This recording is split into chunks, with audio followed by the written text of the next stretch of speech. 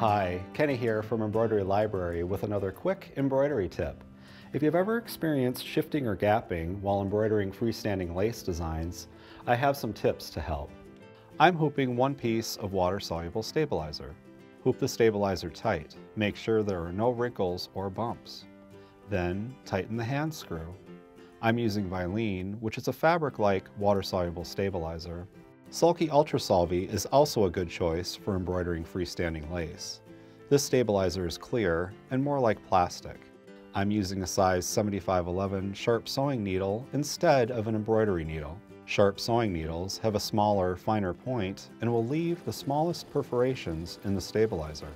This helps the stabilizer to remain intact while embroidering.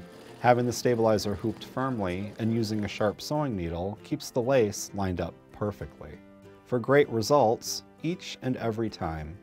If you still see gapping or misalignment, the bobbin tension may be too tight. Try loosening the bobbin tension by adjusting the bobbin casing. Turn the side screw a bit to the left. Thanks for watching. See you again soon for another quick embroidery tip. For machine embroidery designs, tips, tricks, and tutorials, visit our website, www.emblibrary.com. Thank you.